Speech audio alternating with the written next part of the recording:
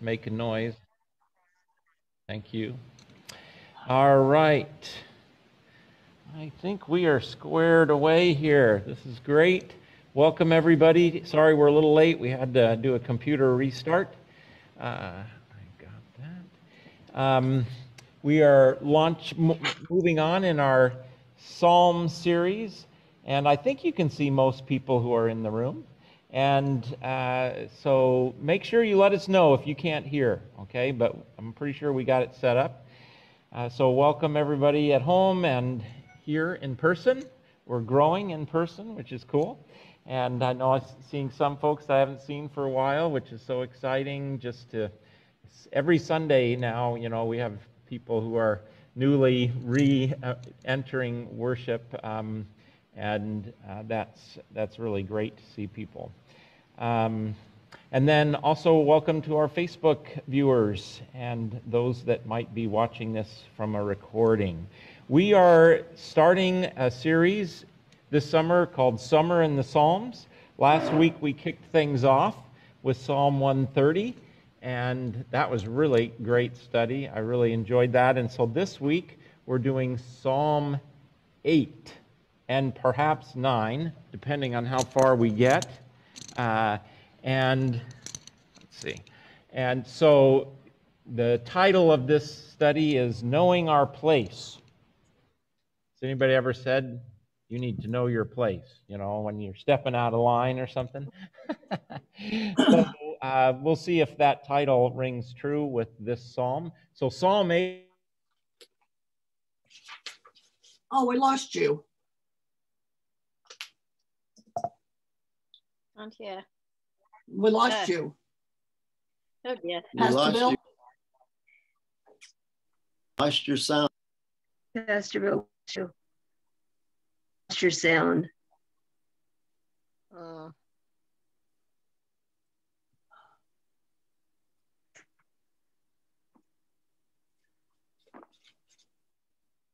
We're still talking? That's what I got there. But it says that I'm muted, like it almost appears. Is it because I highlighted um, we can this? I can hear you now. No, but that's the phone. But I've, I've done that before. Let me unhighlight. We can hear you. Yeah. Now we can hear you. Going now. Let's see if it's working. Yeah. Can you guys hear me? Now we can. You can. Issue. Okay. Thanks for waving at me. How much of what I said did you hear? Nothing. All right, so we're going to look at Psalm 8. Let me just go here. This will be a better view of the people. Know your place. See me. Um, and uh, they want to see all of your faces up there. So, uh, yeah, Psalm 8, which is knowing our place and talks about the role and, and uh, how do we understand human nature? How do we understand what's the role of a human being? And so, with that in mind, we'll kind of launch into this. We'll think about how it helps us, how it defines who we're supposed to be, how, where do we see Christ? Eight. All right. So let me open us with the prayer. Gracious and loving God, thank you that we're together today, and thank you that you've given us the gift of your word. Let it be fruitful, our time be fruitful and helpful, and we pray this in Jesus' name. Amen. So, what we're going to do now is we are going to try and share a screen here. Where is it? Hmm. Let's see. It's there somewhere. Okay. There it is. All right.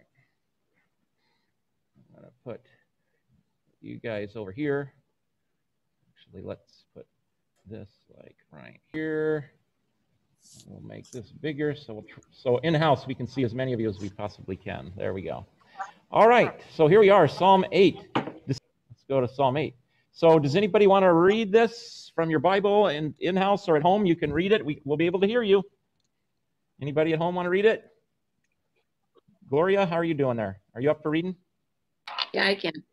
Yeah. Oh Lord, our Lord. How- oh, oh, now we're you're you muted again. Let's see. Can you hear me but now? For some reason. Yeah. Yeah, I can. No, we can't.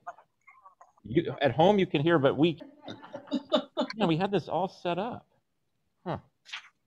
Huh. Mislaid plans and might Help, Justin. Okay, so we're going to read from here because you guys can still hear us and you can hear each other, but we can't hear you. So, oh, here you. So, Gloria, we can't hear the people at home in here now.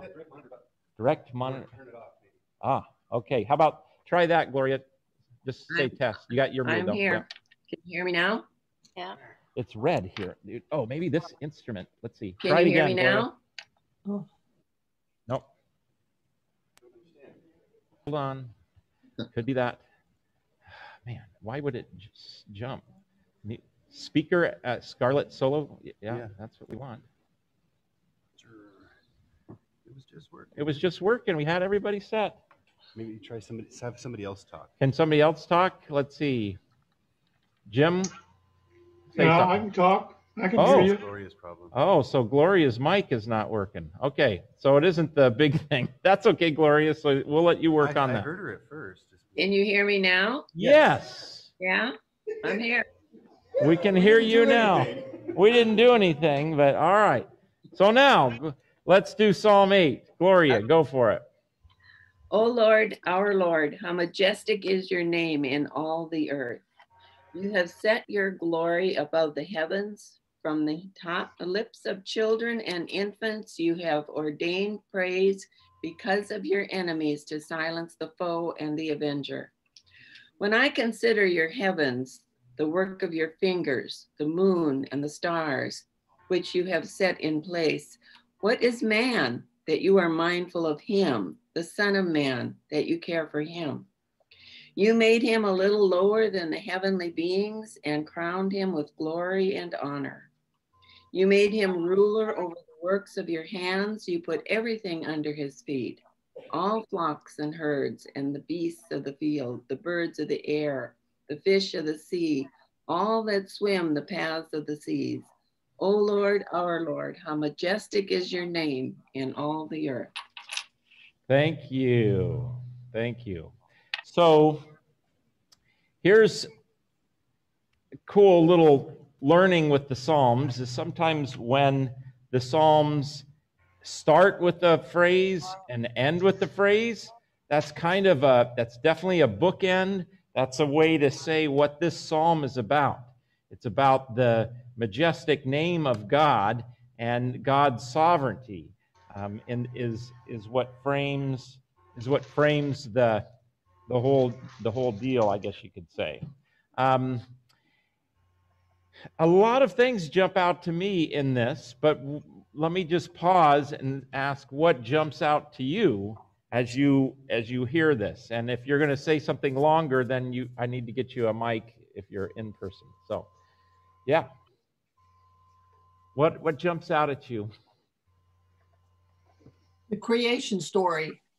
Okay, so it's grounded in creation. All right. I think um, in this area, when the nature is so beautiful, um, it's just really. And if you've been gone on a trip, and when you come home, if you're coming over the pass and you see the Olympic Mountains after traveling through the Cascades, and you just go, "Oh God, you did such a good job." nice, nice. All right, good. What else strikes you as we go through this? And I can move around with the microphone here. So, anybody else in in in house? How about at home? It's just praise. This is a great praise. Yeah. So, uh, uh, just the the a hymn of praise, giving God adoration. Okay. Yep. It really speaks of the greatness of God. Mm-hmm. Yep.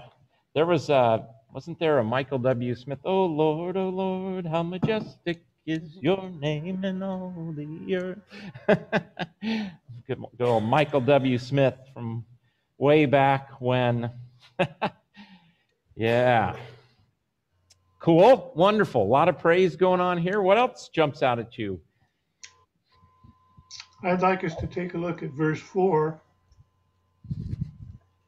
What is man that you are mindful of him, and the Son of Man that you care for him? Yes. Okay, so then you've got God's majesty and then what is what are human beings? In the New Revised Standard Version, it says um, what are human beings, which is just trying to inclusivize man, that, that understanding correct. of man. What are human beings that you are mindful of them, mortals that you should care for them? Yeah, so in the midst of the majesty of God, here are us human beings. And who are we? Yeah, okay, good, Jim. Yeah. He did create us. yeah. He did create us. That's maybe without being too um, simplistic about it, that actually is um, a profound thing that human beings are creations of God. You know, that we are, and so that puts us in our place a little bit, just saying that. Good, good. Also, is it uh, in the psalm also one of the psalms that you knew me in my mother's womb? So in the creation, Yeah, so that's a passage from Jeremiah uh, where it says that the, the prophet was known. You called me from my mother's womb. Uh, there is also Psalm 51 where it says, you know, um, I've been a sinner since my mother's womb. Uh, Psalm 51 5 says that. So, yeah, good, good. Kathy's got something here. Well, I was just thinking, it came to me this same part that Jim picked out because it was in our devotion today. It's, it's where, is it on? It's- Yeah, I think. Yeah, just go closer, Yeah. yeah. And so it, it, we read it this morning, the one from church, and it had the Hebrews. It was in the He, you know, the Hebrews quotes it. And um, it, it was today, they, they talked about that, that um, how we have, we are, you know, so God is, has made us so um, exalt, kind of exalted, and yet we need to realize that it is God who created us. We are just human beings, but He gave us Jesus, who He lowered, He humbled to become human, and then now has glorified. So I thought it was interesting to have that connection that the Hebrews used it, and it was in the Bible study for today. I didn't know that. It And the- Christ in our home. Yeah. hmm Yeah, that's cool. That's cool. Oh, yeah, Kathy, please. Kathy Haber, yeah. Oh, um, it's also a great gift that God gave us dominion over that. You know, it, it really calls on man to take care of it because he made this wonderful environment basically um, for us to live in and to do our best in it. And he really elevates man, you know, a little lower than God. That's a bit daunting. Yes. Mm. So they-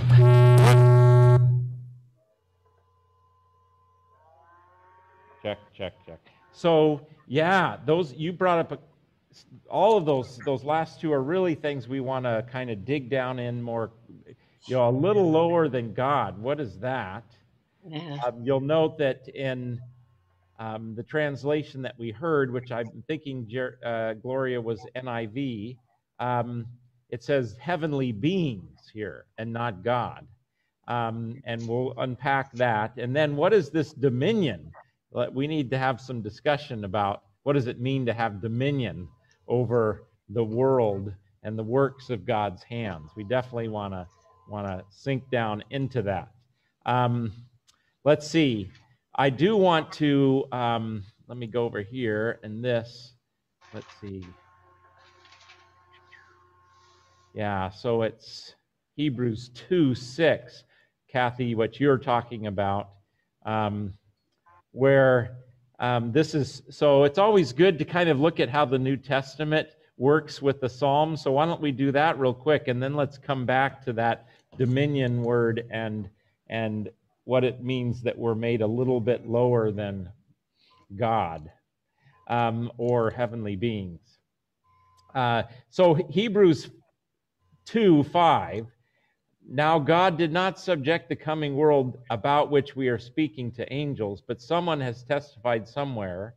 Um, I love that because they know where it is coming from. What are human beings that you are mindful of them, of mortals that you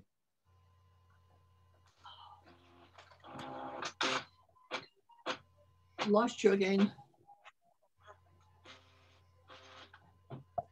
There's, can't hear you, can't hear you.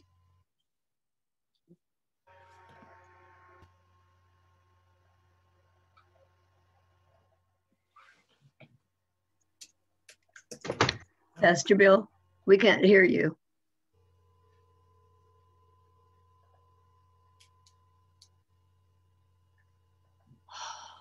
Got it.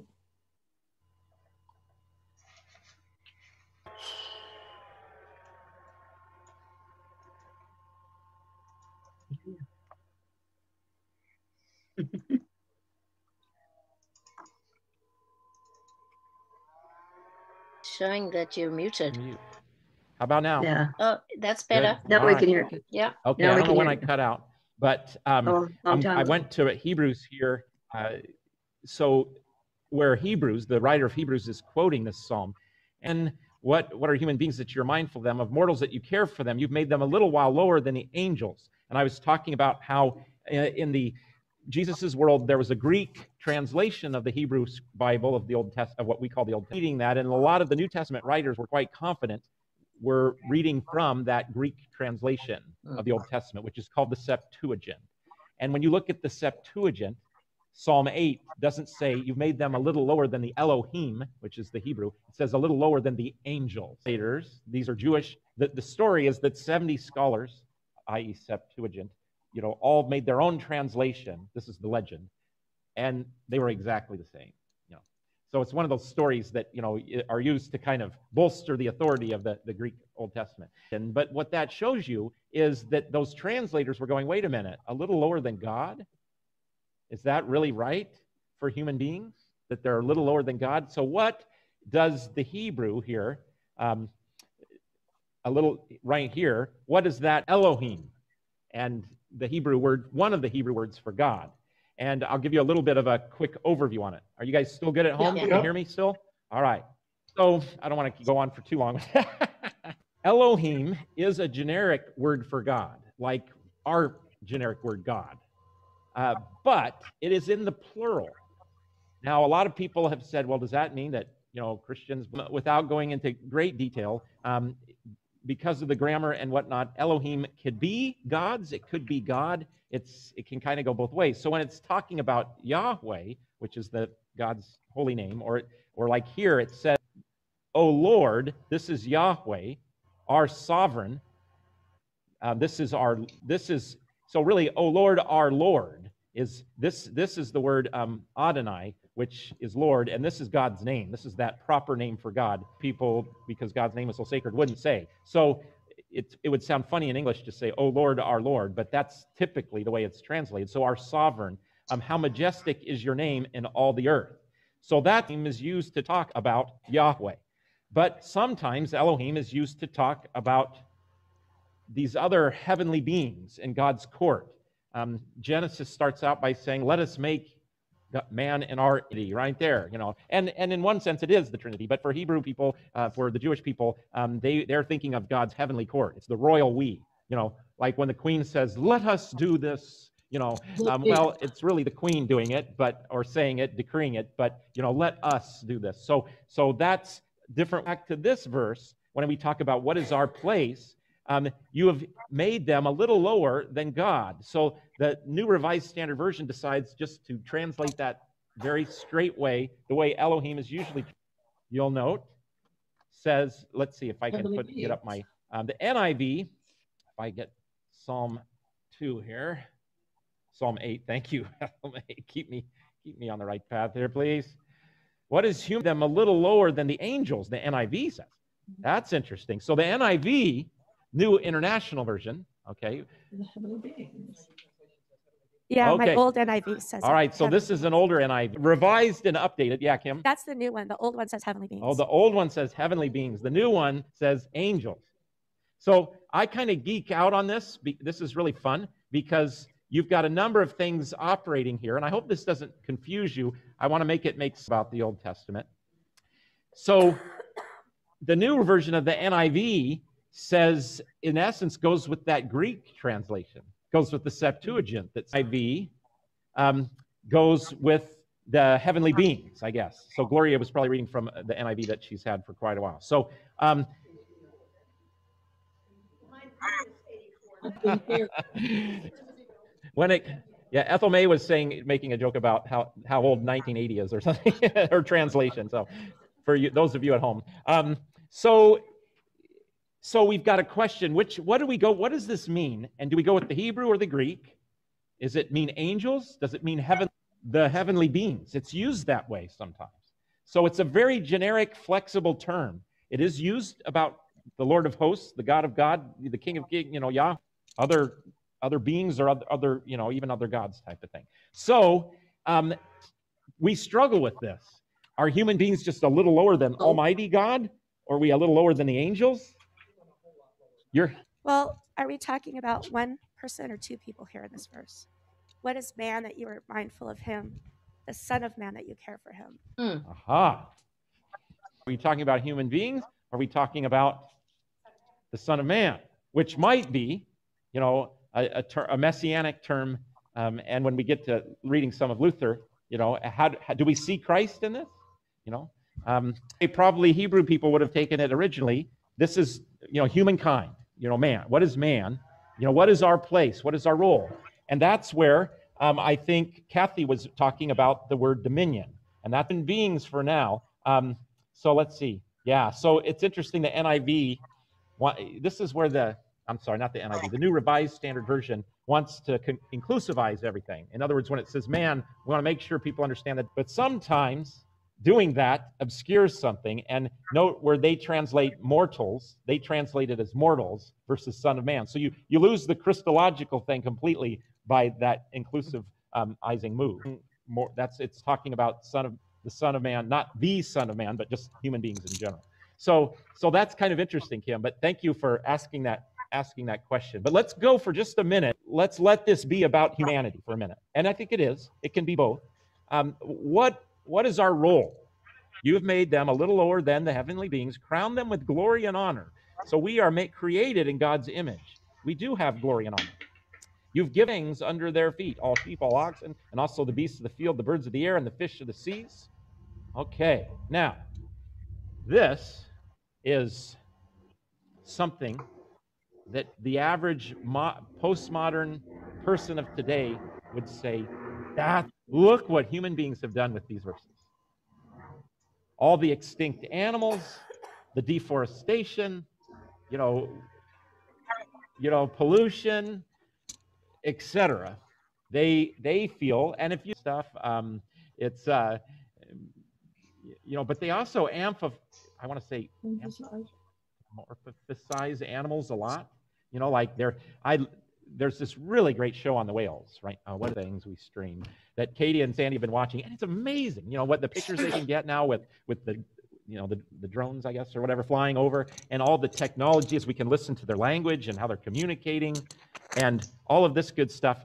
Um, and it seemed, and you know, and I'm totally with that. I, I, you know, I, I, but the narrators like get into their minds of these whales. And it's like you know i'm like are you sure? We're we are taking so a lot of people feel like this view that human beings are up here and the rest of creation down here is a huge problem because look what human beings have done with that. Um, look what human beings have done with that. So the answer is to put human beings and the creation, created world on the same par. And that's and you'll see that going on a lot. And I'm going to be honest and say, on one level, I don't blame them, given that human beings have done a whole lot of the natural world. Because Oh, after all, we have what? It says right there dominion. Now, dominion is dominion, right? Okay, well, now we have to unpack that word. So, what is our role? Well, we're to have dominion over the works of God's hands. What does that mean? Let's do a little word study. I should have got this up ahead of time, but we'll just do that, and then I'll get this word study over here so that everybody.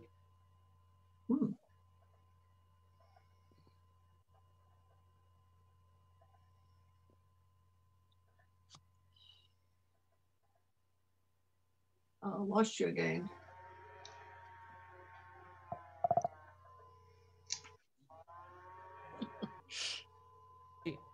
Now good? Yeah. Yep. Yeah. Yeah, Yep. interesting.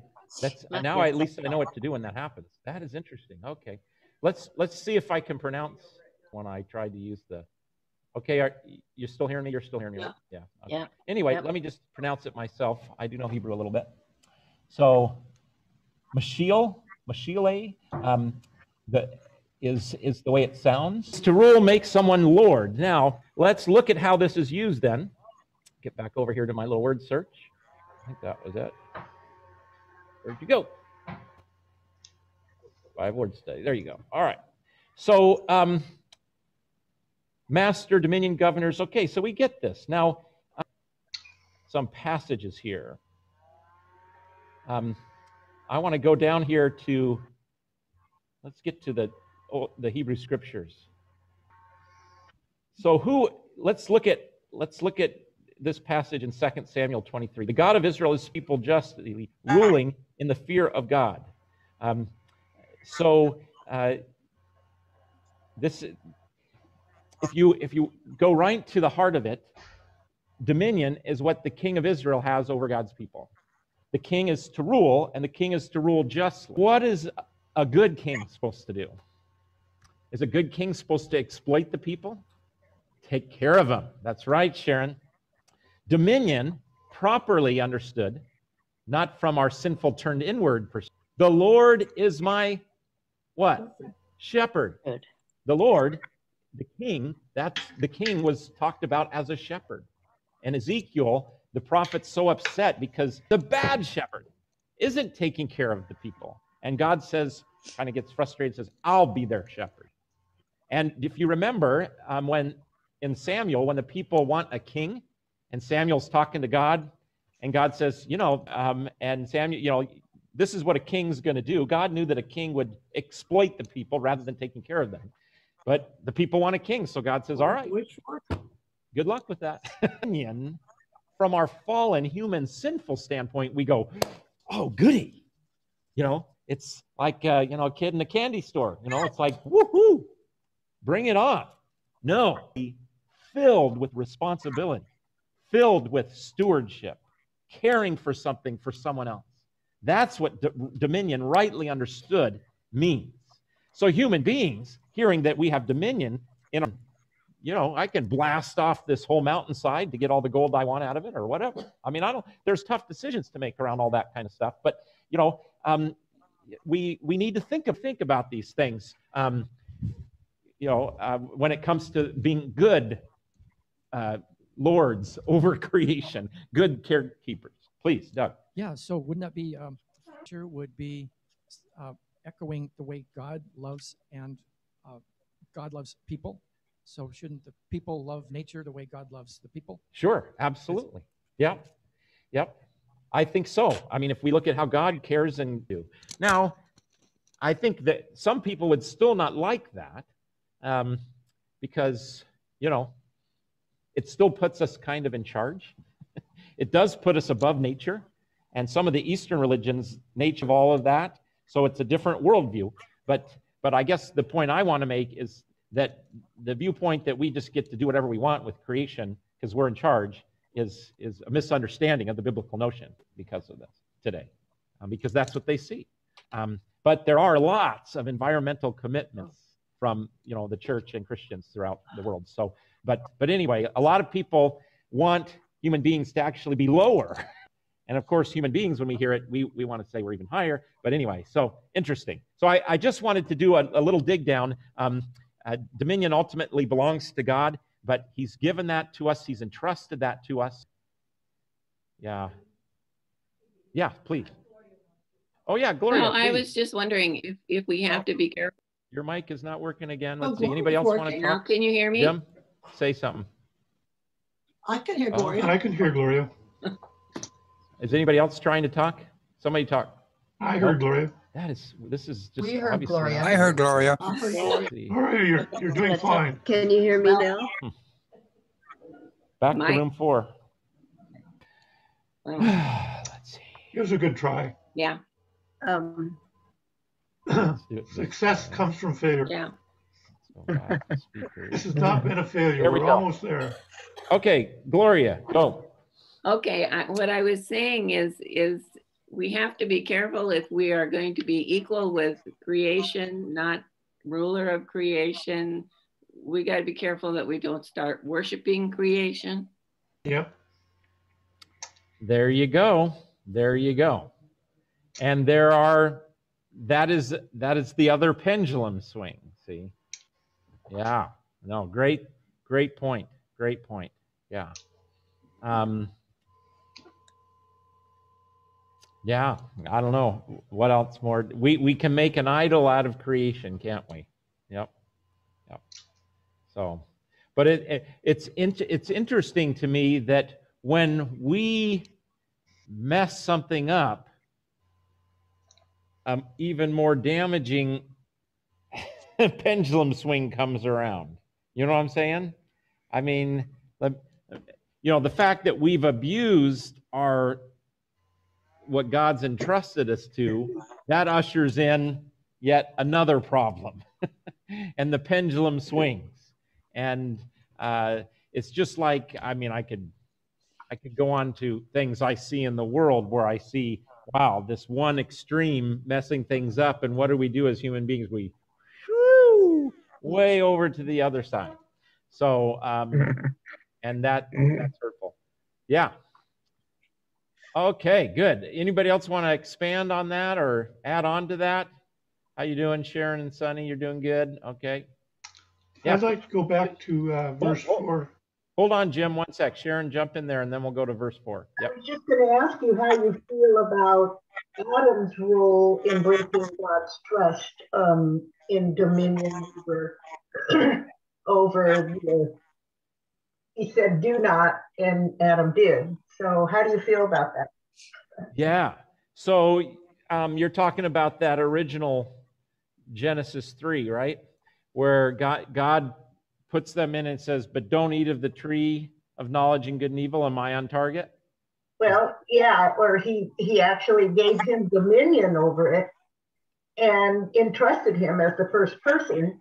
And he broke that trust. So when you, I don't know, maybe I'm off base, but it just came to my mind and I thought maybe he was the first one that set it up that we are, we're breaking that trust of dominion over caring for the earth. I mean, it's, it's, it's a stretch. I know, never mind. No, no, it's it's actually not a stretch at all. Let's look at um, let's look at this. Um, right? Let's see. It's the breath. And the Lord planted the garden of Eden for it, and the tree of life was in the garden. The river flowed. Um, it's not a stretch at all. This is really good because this gets right to this lordship question, or um, Knowledge of good and not not good to be alone. Um, this last bone of my bone. Um, ah, where is it that it talks about what we're supposed to do? Here it is. The Lord God took the man and put him in the Garden of Eden to work it and keep it. Um, there it is. Say to care for it. Yeah, to care Oh, for it and work work and it. keep it. And the Lord commanded the man, saying, You surely eat of tree, but the tree of the knowledge of good and evil you shall not eat.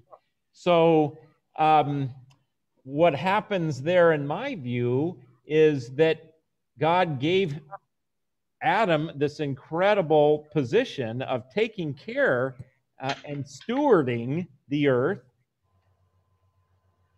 gave him one limitation, and you know gave human beings one limitation don't eat of this other tree and they said no that's not good enough for us. We want to be more we want to be you know in charge um, and we want to decide right and wrong and we want you know we're not okay with being stewards so um, I think I think that's uh, that's where my head went with your comment, Sharon. Is that kind of helpful? Is that on target with where you're going? Yeah, yeah, good.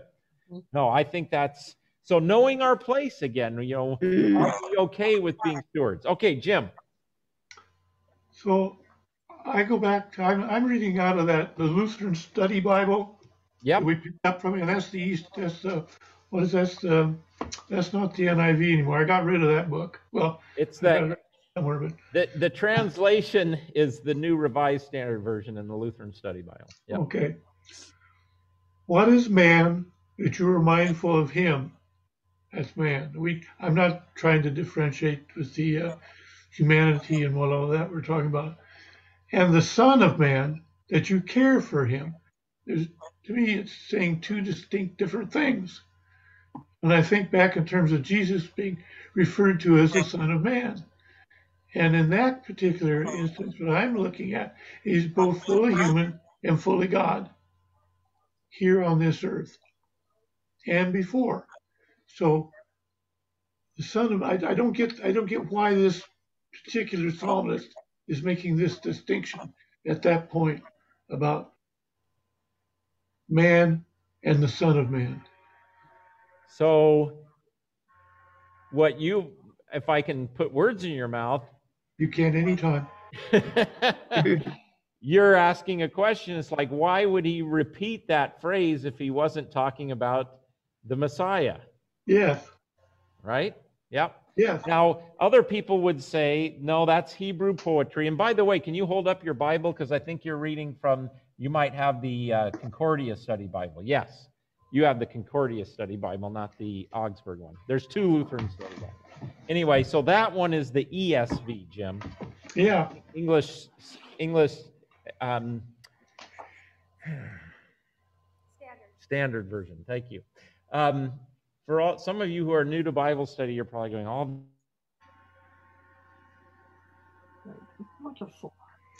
Well, in my Bible, on the footnote, what is man? David considers the place of human beings in the council order, in the created order, and more important, their significance to God. Son of man is Hebrew from, I can't pronounce, beings enjoy a special relationship with their creator. Explain the special status and the role that human beings enjoy over the rest of creation, which to me doesn't make it equal, you know, equal with creation over. That's the way I see it. Did I confuse everyone? Uh-oh. Oh. Lost, Lost again. it.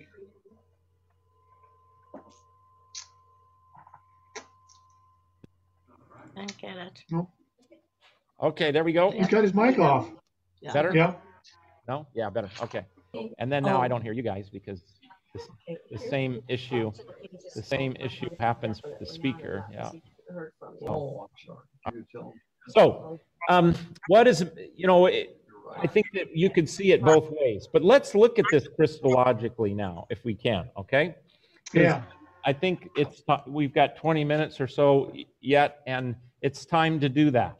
So here's another place that you can look at this psalm from a Christological standpoint.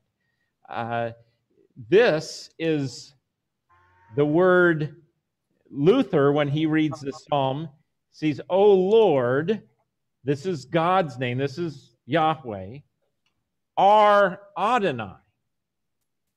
So let's see what Luther has to say about this.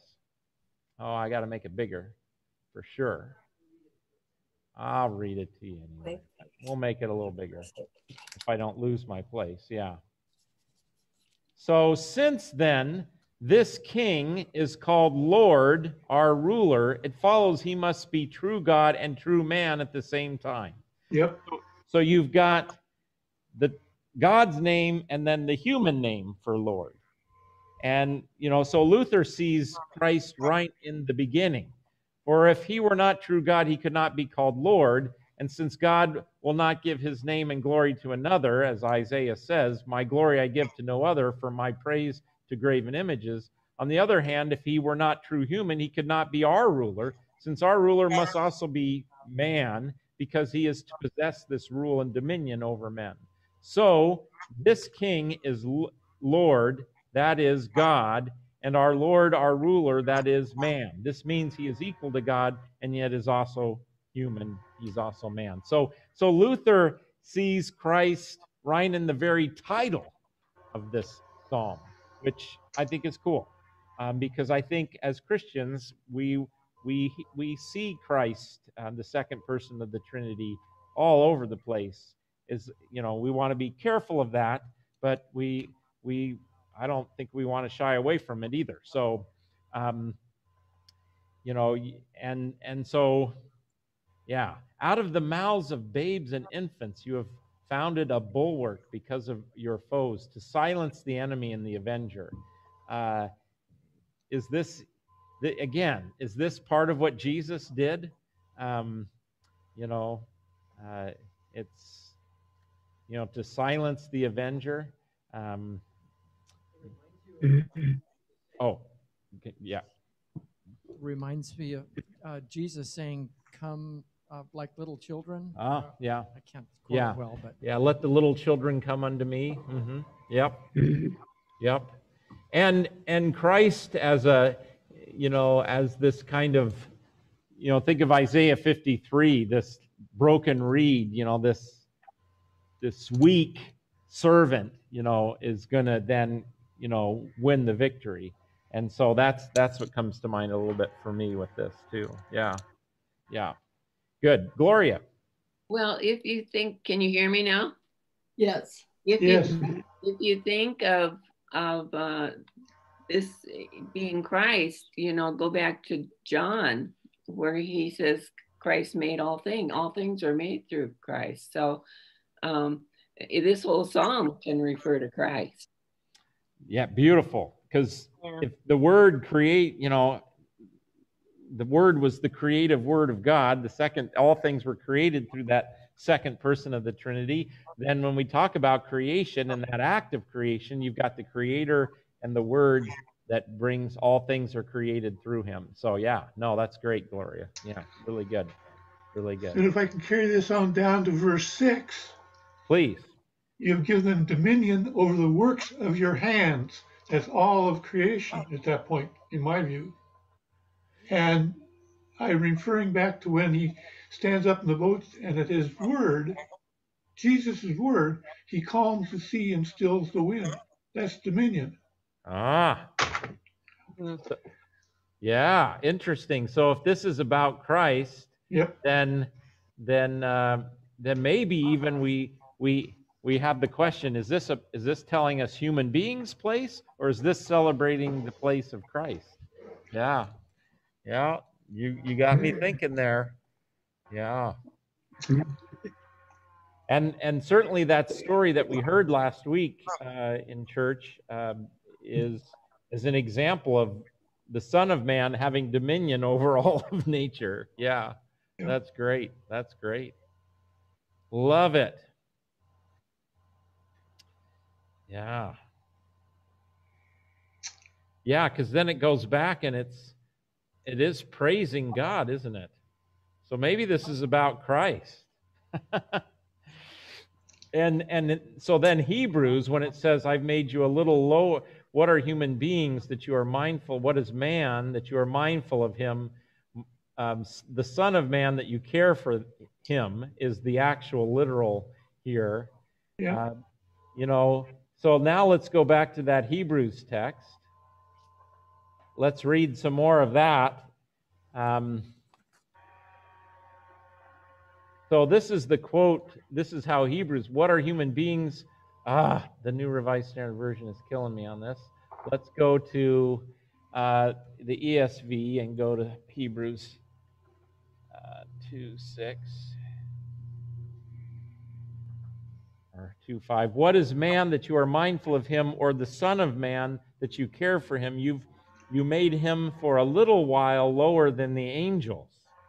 So note you have crowned him with glory and honor, putting everything in subjection under his feet. Now, in putting everything in subjection to him, he left nothing outside his control. At present, we do not yet see everything in subjection to him, but we see him who for a little while was made lower than the angels, namely Jesus, crowned with glory and honor because of the suffering death of suffering of death, so that by gra- the grace of God he might taste death forevermore. For it is fitting that he, for whom and by whom all things exist, and many sons of glory, should make the founder of their salvation perfect through suffering. So, so the writer of Hebrews is saying Jim Slade is right on target. that this is about Jesus. This whole psalm is about Jesus. This isn't about anthropology of human beings, like what is our role in the world. Um, and note how note this little change here. For a little while, Yep. for a little while. So Jesus wasn't uh, for all times lower than the angels, but because he took on human flesh, here on earth. Yeah. Yeah. So could I could I mess this up a little more? Oh, please. How is it that the writer of Psalms, if we're attributing this to Jesus, how is it that the writer of Psalms will be knowing all about Jesus at that point when he wrote it? Yeah. Well, um, so this is a Psalm of David, Yeah. And it's in the first grouping of Psalms in the book of Psalms. And probably what we would say is that the writer didn't know who he was talking about. The, David is probably talking about, he certainly knows he's talking about God. And then he's, you know, from a Hebrew standpoint, he'd be talking about humanity. But it turns out David, you know, was uttering some words that he did not fully understand. The Holy Spirit made him do it. Sure. Okay. That's what Doug said. Um, Holy Spirit wasn't. you know, think of the other spot where Jesus points out in the Psalms where it says, My Lord said to my Lord, you know, type of thing. So there's this other, you know, Mhm. who is this Lord, other Lord, you know? Um, and so Jesus himself points that out um, and, and tries to help the people of his day look back and see Jesus in those Psalms. Um, but I, probably the answer would be that he didn't he didn't necessarily know um, you know what what he was uh, pointing to um, that so we so this is how you can bring the two things we've talked about together today together is that yes it is talking about anthropology and what is the role of human beings but then there's this christological interpretation where we go oh this this kind of was jesus who was made for a little while. Now is that in the original? Let's go back. Um, let's go back one here to is that does it say for a little while? Let's see. Um Which it doesn't in yours? Yeah so that could be a septuagint issue. Let's see. That could be the greek has for a little while. Um, and you have made them a little lower than god than elohim is the literal here. So um, it doesn't say for a little while. It says a little lower. I don't like that. you see how- see this it's fascinating interesting Yeah. interesting Yeah, okay. yeah so yeah please kathy here let me get you doug can you hand the mic over there to kathy right there yep I see another place where Jesus refers to himself in that psalm. And so to me, if he looks back and says, there you go, that's me or something, it really, he's looking at it sort of that way. But it, it says in, in Matthew that he was um, in the temple and healing, and the children shouting in the temple, Hosanna to the Son of David. And so, of course, the Pharisees, chief priests, and teachers of the law were indignant. Do you hear what these children are saying? They asked him. Yes, replied Jesus. Have you never read, From the lips of children and infants, you have ordained praise? perfect whoops sorry um, perfect That's me. Yeah, yeah. Um, so Jesus himself here on this one will will s- when he enters the temple and isn't that Palm Sunday basically where they where where that is happening? Yeah. Um, and so here here you know these kids are shouting hosanna to jesus and and son of david and all of this. And and the pharisees they're upset because hey jesus you should tell them to be quiet. They're committing blasphemy. You're just a human being. You know shut them up. And jesus quotes psalm 8 out of the mouths of babbling babes. Um, and so again and who is this about well this is about god's glory the son of man so yeah perfect beautiful yeah we needed that text in here very much so yeah love it love it And I think back, we talked back in the beginning too. I still think we're still talking about the creation story here in one form or another. Sure. So Christ was created in the beginning, God's in the beginning. And if we're going to accept that this was the spiritual utterance of David, that that was in the beginning. So this is this is how it's all figured out in the beginning. That there would be the Son of Man who come to earth and pay and, and take on the sins of humanity. And that would be for a little while. Yep. I think. I'm probably way off, but that's the way I that's the way I try to piece it together.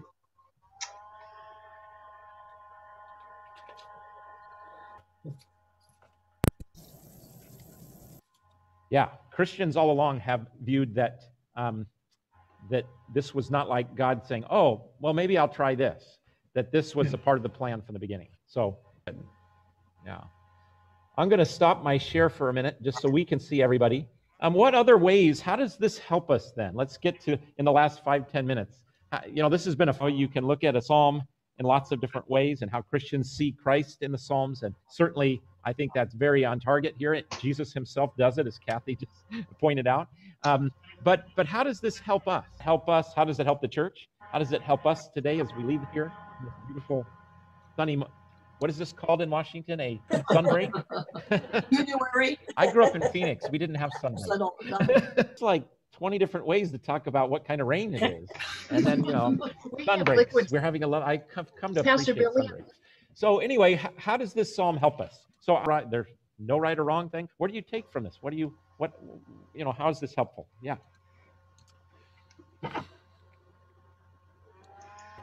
And remember, my wife always says, if you ask a question, you have to be quiet long enough for people to think. Well, Ah, with hold a on, with hold a hear her. We got our problem here again. Let me fix uh-oh. the speaker. Okay, let's try it again. All right, can you hear now? Yep. All right. No, it just it strikes me whether the whole psalm is about Jesus or whether it's about people. It's a gift, not a right. That because it was about the creation and Jesus's role in it and what he would like us to how we behave properly in in that. Um, and God went and looked for Adam and Eve even after he knew they'd sinned and and you know got kicked out. Yeah. Yeah. Yeah. No, that's that I love that. A gift, not a right. That that we that our our role is gift and not a right. I, I love that. Yeah. Beautiful. How else does this help? I know what I have to say is I've never really delved into the Psalms, and I've never really been a. Some of them are just too long and complicated. So when we do do it like this, and we've been able to go through two of them, to me, what it does, it, it just re. I'm so glad I belong to the faith that was given to me. I.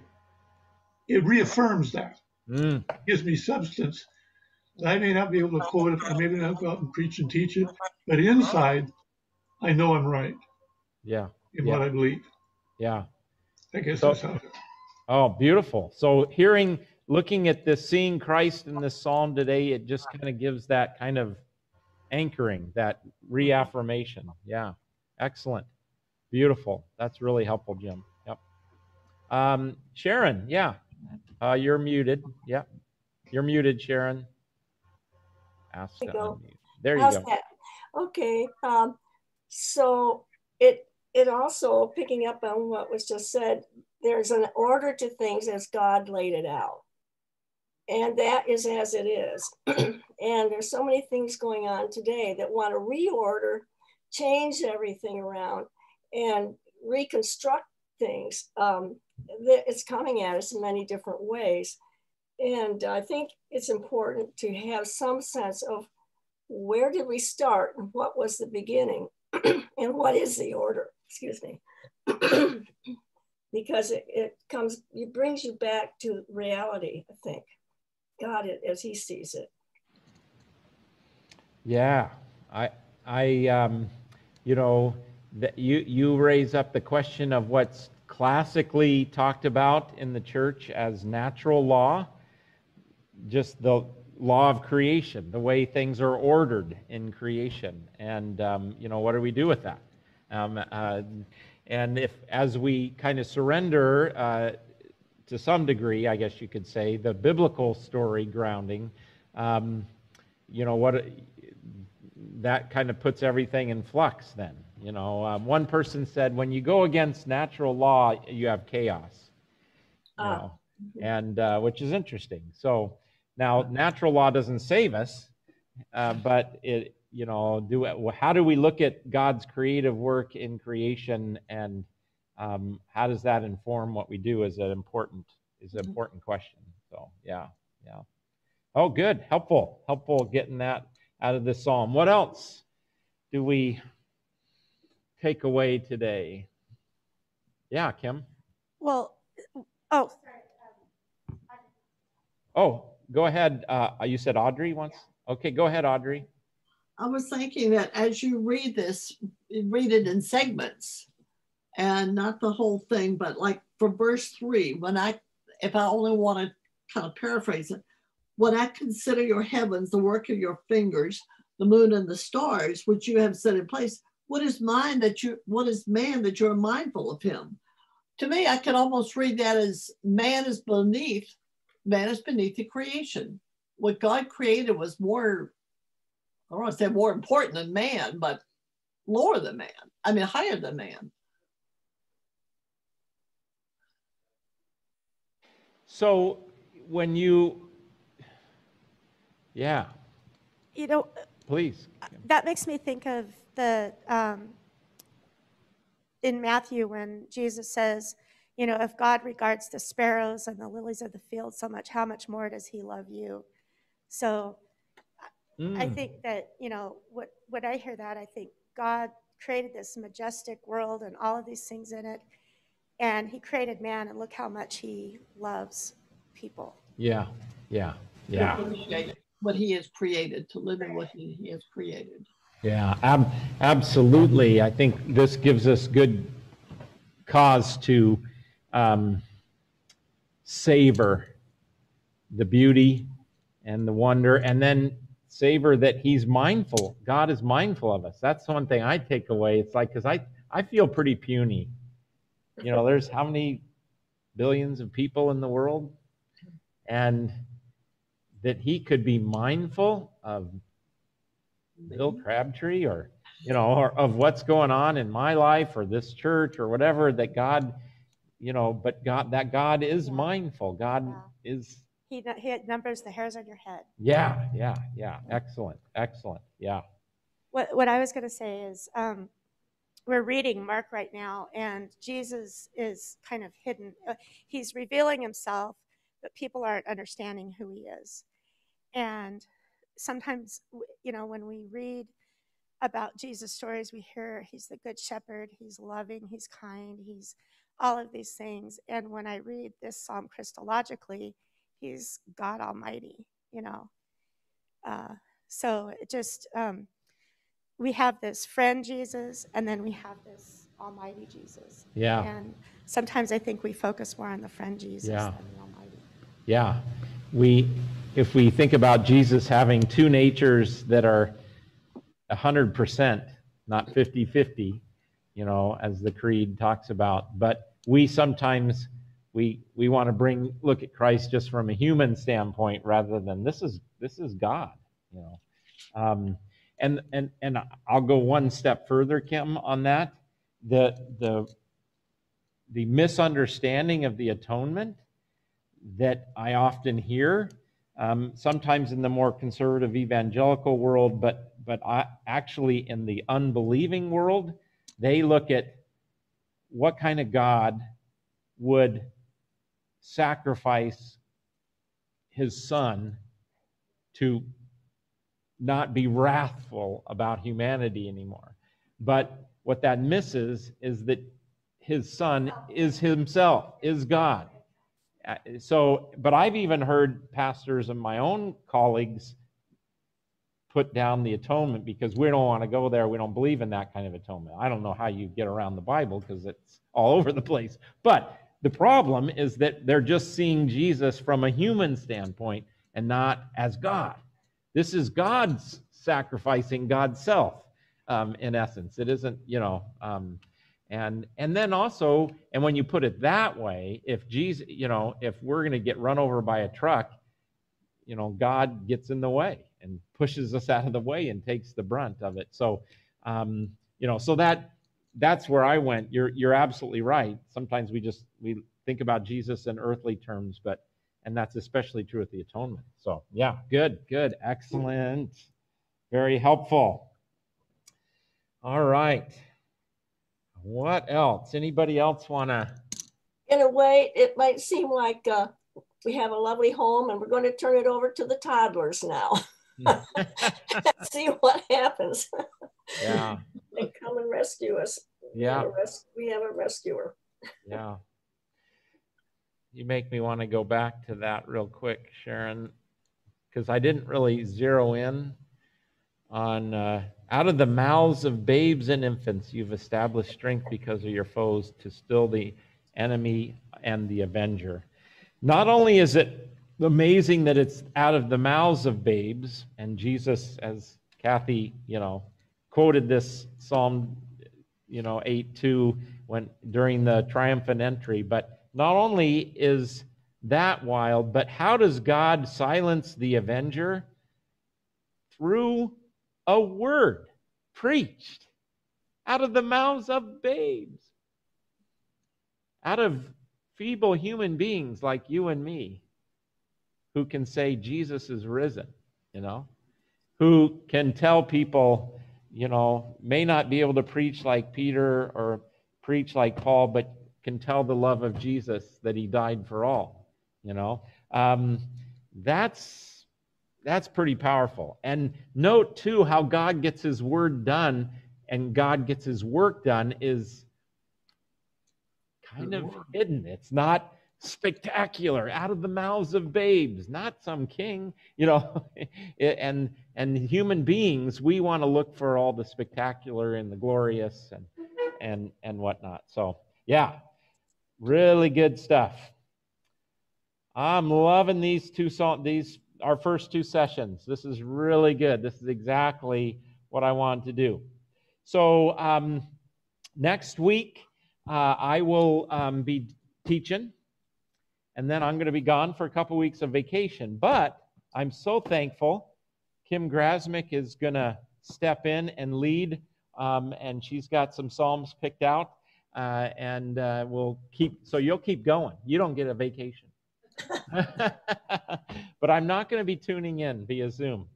And Kim, we'll have to figure this out. I don't know if it's my computer. You didn't have this problem the other night with uh, with, uh, and I haven't had this problem before either. But anyway, we made it work. Everything's good. Um, the last thing I guess I want to say is how you define the problem dictates what you think the solution is. So, how we understand human beings is really important. And I had a my Luther professor Bob Goeser at PLTS said, "Yes, human beings are sinners. We're messed up, we're fallen, etc." And the church typically talks about human beings that way. But we're also presumptuous saints. Yeah. We think we get look at me. Look at how great i am. I come to church every sunday and i give 10% or i give 1% whatever the standard is in the elca it's an average 1% so you know and i give this and i do this and i'm basically a good we get presumptuous and i think this psalm puts us in our place and then shows us that Jesus took our place um, for us and that that needed to happen. Uh, so, so we're both sinners and presumptuous saints. That it's a both sides are a problem. We put ourselves down too much, or we elevate ourselves too much. But we are God's creation, and just lost you. Uh oh, sound went away. I got it. I got it. I got it. I got it. There we go. Yep. So anyway, we need it. What it t- tells us is that we need Jesus. Um, so all right. Yep. Um, let me close this with the prayer. Let me see our check you. Um, let let me uh, close this with the prayer here, and um, please continue to pray for darling Yokum as she's in ICU and just can't get those lungs to calm down after this chemo that she had. She's been battling cancer for many many years, but they tried a new chemo, and evidently it's done a number on her lungs. So she's still in ICU, and man, really have surgery tomorrow, I think. Um, and there's lots of other people on our hearts today. Um, I know one of our the kids of our congregations, Kai Keller, is battling wildfires and out there as a hot shot. So lots of people we're thinking of, and and thank goodness the Holy Spirit knows. Gracious and loving God, thank you for this study. Thank you for helping us to know our place and that you are mindful of us and we are precious to you, as broken as we are.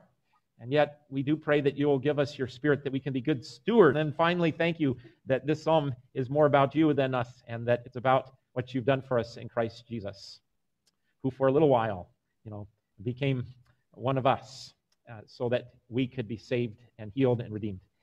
So go with us and be with us um, and this week and continue to give us your strength, gospel of the self revelation of you in Jesus Christ, our Lord and Savior. In his name we pray. Amen. All right. Thanks, everybody. Thank you. Bye. Great Thank study. you.